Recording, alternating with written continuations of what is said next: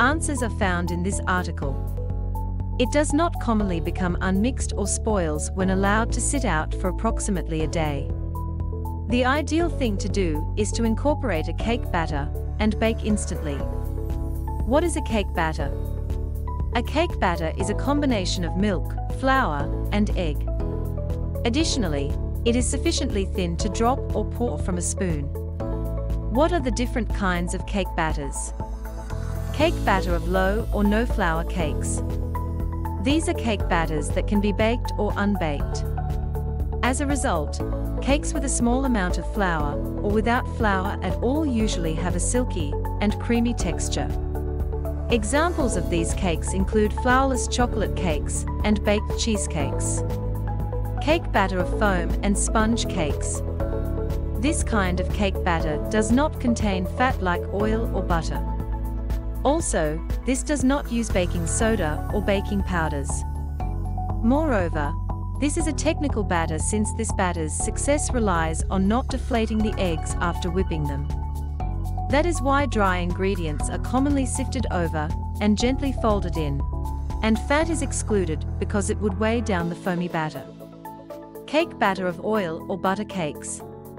It usually contains some fat like oil or butter. In addition to that, it needs baking powder to make it rise. For instance, the creaming method is used when the fat is butter. For this reason, Sugar and soft butter are beaten in hand or stand mixer to incorporate air into it and dissolve the sugar. Afterward, the wet and dry are added, resulting in an airy and light crumb. However, it is not as light compared to sponge cakes. Can I make the cake batter in advance? Unfortunately, cake batters are not made ahead. However, you can make unfrosted cakes in advance because they freeze excellently. Please put the cake in the fridge for two days or the freezer for a month. Make sure to thaw it before decorating it. How long can cake batter sit out? And how long can it last? Cake batters usually last for around 10 to 12 weeks if you store them in an airtight container in the freezer. Cake batters can sit out for 24 hours. Likewise, you need to put it in the fridge if it contains eggs and milk. Store cake batter in the refrigerator. Cake batter can last for approximately two days, depending on the expiry of milk and eggs. You can take out the cake batter from the refrigerator for baking and stir it well. Then, add 2 to 5 minutes more in the baking time.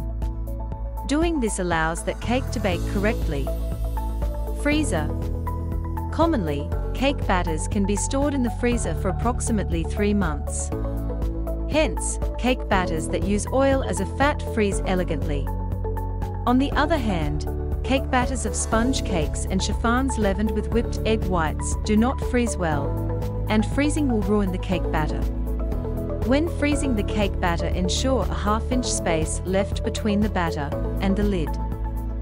For this reason, Leaving a big gap enables the cake batter to contract and expand upon the freezing and thawing process. When defrosting the cake batter for a recipe, make sure to let the cake batter sit in the refrigerator the night before baking it. Doing this is essential when you have frozen the cake batter for a long time. If you like this video don't forget to like and subscribe.